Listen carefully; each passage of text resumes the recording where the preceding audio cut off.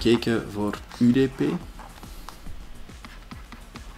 Nu, UDP, dat is een beestje dat we niet zo heel graag zien. Want uh, dat zijn pakketten die gewoon maar opgestuurd worden. Er zijn geen bevestigingen van, er is geen start van de connectie. Dus um, waarvoor dat we dat kunnen gebruiken. Hier is dat bijvoorbeeld voor mijn client, of voor ik kan dat ook voor de server uh, zeggen. Mijn clients bijvoorbeeld hebben DNS nodig. Of mijn server. Um, dan zou het kunnen dat die uh, naar buiten moeten gaan. Misschien hier uh, een server zetten. Um, kan een DNS-server zijn. DNS draait op poort 53. Mijn clients, het hangt ervan af of die zelf nu een uh, DNS, of je zelf een DNS-server hebt of niet. Mm.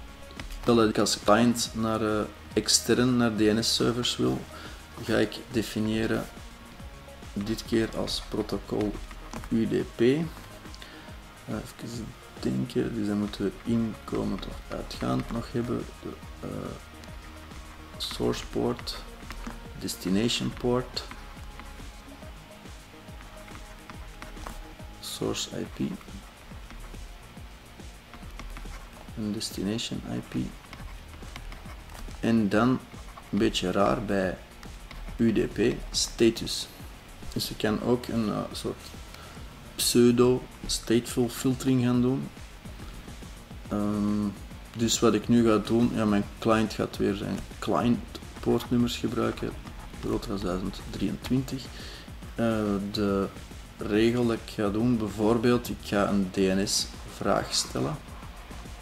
Een gewone standaard DNS-vraag, uh, kleine vragen aan DNS-servers onder de 512 bytes, die gaan gebeuren via UDP. Dus mijn protocol is UDP voor mijn eerste verbinding. Dat loopt naar buiten bij mijn firewall, want ik vraag dat aan een DNS-server op internet. Mijn source port is groter dan 1023. Mijn destination port is die port 53 op de DNS-server. Source IP, ik heb nog niet geschreven, 2222 voor de server. Destination is 1111 als dat met een DNS-server zou zijn. Zo. En de status dat ik hier ga toekennen, is een beetje raar voor UDP, is nieuw. Een nieuwe connectie. Bij UDP kan je dus ook zeggen van met die nieuw hier, onthoud dat. Hè. Onthoud mijn UDP-aanvraag. Want er gaat, als ik een DNS-vraag heb gesteld, gaat er uh, binnen de zoveel tijd wel een antwoord gaan komen um, van die DNS-server. Dus die gaat ook UDP spreken en die gaat uh, inkomend gaat dat zijn voor mijn firewall.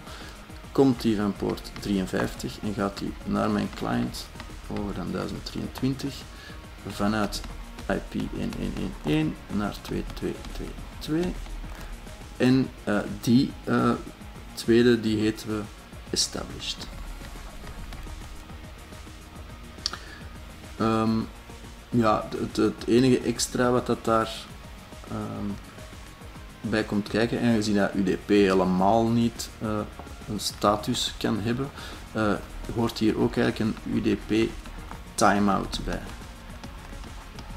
Die wordt maar een beperkte tijd, bijvoorbeeld 30 seconden. Ga je uh, dit onthouden, ga je dit in de statustabel leggen, laten staan. En als die binnen 30 seconden niet zou reageren, dan vervalt deze zogezegde aanvraag. En dat kan natuurlijk ook bij UDP, die, dat zijn maar pakketjes die worden opgestuurd, er is niks van bevestiging, dus dat kan ook dat dat verloren gaat, een UDP-aanvraag dan vervalt dat ook natuurlijk.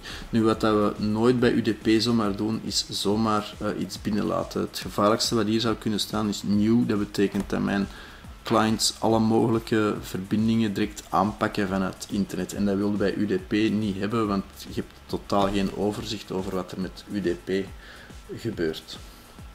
Dus normaal gezien, de omgekeerde situatie, je moet uh, uh, het enige wat bij UDP eigenlijk moet openstaan is voor DNS. Uh, tenzij je nog ander verkeer zou willen doorzetten, maar dat proberen zoveel mogelijk dicht te, te timmeren. Voor DNS specifiek kan het ook als je je eigen DNS-servers hebt en er gaan zone transfers zijn, die gaan gegevens tussen elkaar doorgeven. Dat zijn grotere blokken gegevens, dan gaat die op TCP overschakelen. Dus dat kan zijn dat je voor DNS specifiek, voor heel kleine pakketten, gaat die eh, UDP gebruiken. Voor grote pakketten, bijvoorbeeld zone transfer, gaat die uh, overschakelen op TCP ook op poort 53. Dus meestal als je die regels gaat definiëren, is dat dubbel voor DNS. Um, ehm, dat is zo voor UDP.